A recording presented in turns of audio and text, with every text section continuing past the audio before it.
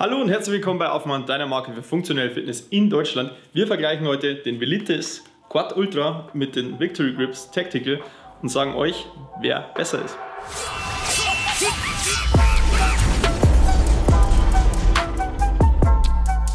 Also, wir haben ein Video bereits über die Victory Grips gemacht und auch über die Velitis. Also, wenn ihr es genauer wissen wollt, jeweils einfach die Videos noch anschauen. Wir gehen jetzt wirklich auf die jeweiligen Unterschiede und Gemeinsamkeiten ein. Also, wichtigster Punkt, beide Grips sind No-Chalk Grips. Also ihr braucht keinen Chalk für die Außenfläche, denn die halten wirklich einfach so, vor allem bei rutschigen Stangen. Ich feiere das wirklich extrem. Äh, ich weiß noch, bei Italian Showdown war es unfassbar heiß. Ich habe geschwitzt, kann man sich nicht vorstellen. Und wenn du da nach jedem Satz joggen willst, hilft es irgendwann auch nichts mehr. Und mit denen hier braucht ihr keinen Jog, sondern springt einfach ran. Also wirklich ein absoluter Gamechanger, vor allem wenn ihr viel schwitzt oder wenn die Stangen sehr rutschig sind. Da sind also die beiden relativ ähnlich. Jetzt gehen wir aber auf die Innenseite. Da haben wir hier ein wirklich stabiles Material, was aber auch relativ hart ist. Die sind 1,35 mm dick, also eher dünn. Und die hier sind 2,9 mm, also schon ein gutes Stück dicker, also über doppelt so dick. Aber wie gesagt, ist das relativ hartes Material. Das hier ist brutal weich. Also viel, viel angenehmer auf der Haut. Wenn ihr da ein bisschen den Effekt erzeugen wollt, müsst ihr ein Sandpapier nehmen und das Ganze aufrauen, dass es einfach ein bisschen weicher wird. Der hier ist automatisch schon echt weich, aber halt auch ein bisschen dicker. Dann schauen wir uns als nächstes die Handgelenksbänder bzw. den Klettverschluss an. Also Velites hat wirklich ein angesetztes Klettband hier unten relativ dick. Bei Victory ist das wirklich ein fließender Übergang. Aber ein anderes Material. Wir haben hier das Stealth-Material, das ist ein gutes Stück weicher als eben die Innenfläche zum Beispiel. Deswegen auch angenehmer auf der Haut.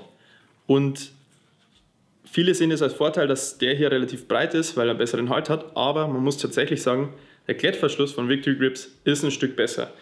Der hält immer noch gut, aber nicht so gut wie der von Victory Grips.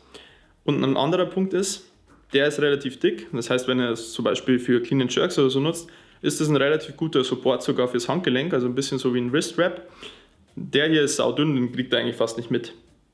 Aber dann wieder auf der anderen Seite, wenn ihr mit dem hier Handstand laufen wollt oder euch oben beim Muscle-Up rausdrückt, kann euch der ein bisschen unangenehm im Handgelenk reindrücken. Den wiederum merkt ihr wieder nicht und ist ohne Problem, könnt ihr ihn einfach dran lassen und ihr spürt daran nichts. Bei den Velites haben wir hier eine Metallöse. Bei Victory Grips ist es einfach ein Loch im, Grip selbst drin. Vorteil von dem hier ist, der reißt wirklich eigentlich in der Stelle überhaupt nicht ein.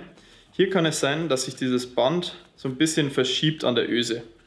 Das sieht man, das kann sich verziehen. Passiert eher selten, vor allem wenn ihr drunter noch irgendwie ein Schweißband habt, aber sollte man trotzdem beachten. Der Velitis ist rein als fingerloser, als Grip ohne Fingerlöcher erhältlich.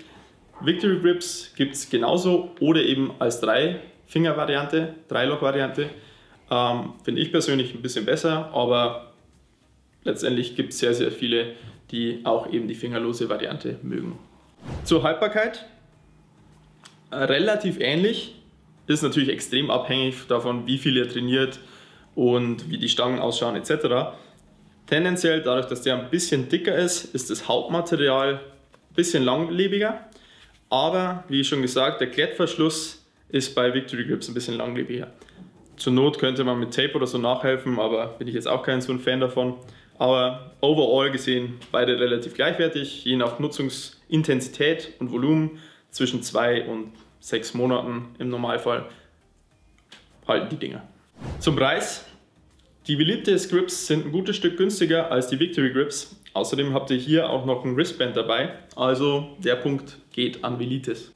Kommen wir zur anfangs gestellten Frage, welcher der Grips ist besser? Persönliche Meinung, Victory Grips ist für mich der Favorit, weil ich einfach nicht so dicke Grips mag und am Handgelenk auch eben nicht so viel haben will.